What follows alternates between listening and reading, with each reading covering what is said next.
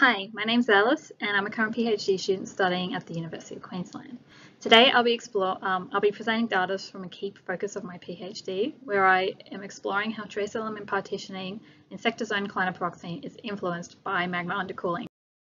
Clinopyroxene is an early crystallizing mineral and is highly sensitive to changes in magma pressure, temperature and composition, which has allowed for it to be utilised in unravelling magmatic histories and identifying things such as magma recharge events.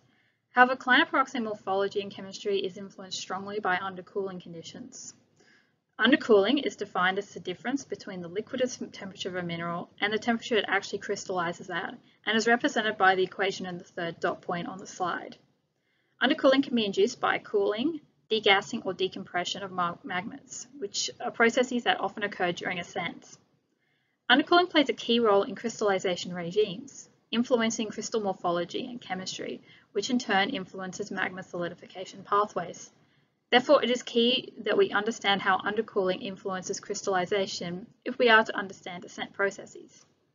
In clinopyroxene is illustrated in the figure to the right here, and it's characterized by the presence of silica magnesium rich hourglass sectors, which are shown in blue, and aluminium titanium rich prism sectors, which is shown in white and lie perpendicular to the hourglass sector. The formation of sector zoning is attributed to the degree of undercooling, with the presence of sector zone clinopyroxene typically indicating relatively low degrees of undercooling, so less than about 45 degrees.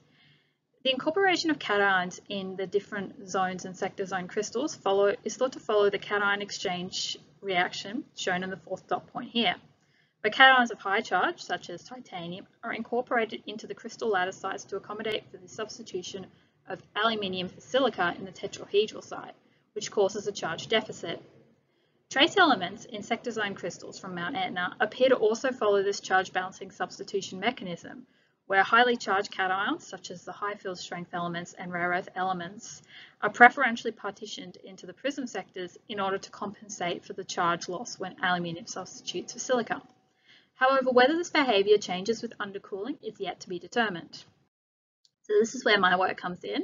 My goals are to investigate how trace element partitioning between sector zone clinopyroxene crystals changes as a function of undercooling. So to do this, I've analysed an array of experimental clinopyroxenes produced at a range of undercooling conditions. So um, between 23 and 173 degrees of undercooling. These samples were produced by my collaborators in Rome, Italy. To um, obtain trace element data, I made trace element maps using laser ablation ICP-MS mapping at the UQ RIF lab. So I found that in the low undercooling experiments, such as this one at 25 degrees of undercooling, clinopyroxene is typically euhedral with distinct sector zoning. This is shown in the aluminium map, where you have the aluminium depleted hourglass sector in blue and the aluminium rich prism sectors in red. Lithium, for as an example of a low charge cation I analysed, it doesn't differentiate very strongly between sectors and has a very uniform composition throughout the crystal. In contrast, tantalum strongly partitions between the sectors due to its high charge, which allows it for, for it to be more readily um, incorporated in charge balancing substitutions. As undercooling increases, clinopyroxene becomes progressively more skeletal and the type of compositional zoning changes. So this experiment was conducted at 82 degrees of undercooling and we see that the aluminium zoning in the map on the left here becomes more irregular. This zoning style has been described as consisting of aluminium-rich skeletons and aluminium-poor overgrowths by one of my collaborators. Similar to the low undercooling conditions, lithium doesn't differentiate between zones, while tantalum does so. And at the highest undercooling experiment, clinopyroxene is dendritic with very subtle aluminium zoning, which you can sort of you can see in the map on the left here, where we have these aluminium-rich zones in red and aluminium poor in blue. Tantalum does follow this zonation quite closely. However, lithium doesn't, again, appear to follow this pattern. So these results indicate that despite undercooling increasing, it appears to be that um, the way in which trace elements are incorporated into the crystals remains the same. So I extracted trace element concentrations from the elemental maps and calculate partition coefficients.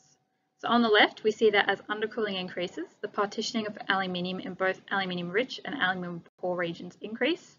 In the M1 site, tantalum follows similar behaviour. In the M2 site, we see that the rare earth elements behave similarly.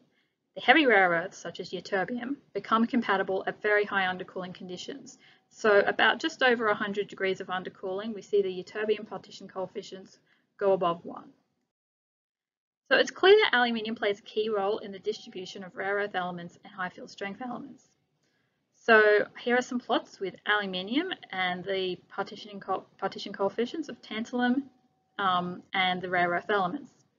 So we see that as aluminium increases, tantalum partition coefficients increase, which highlights the dependence of the presence of aluminium and the role of charge balancing substitutions.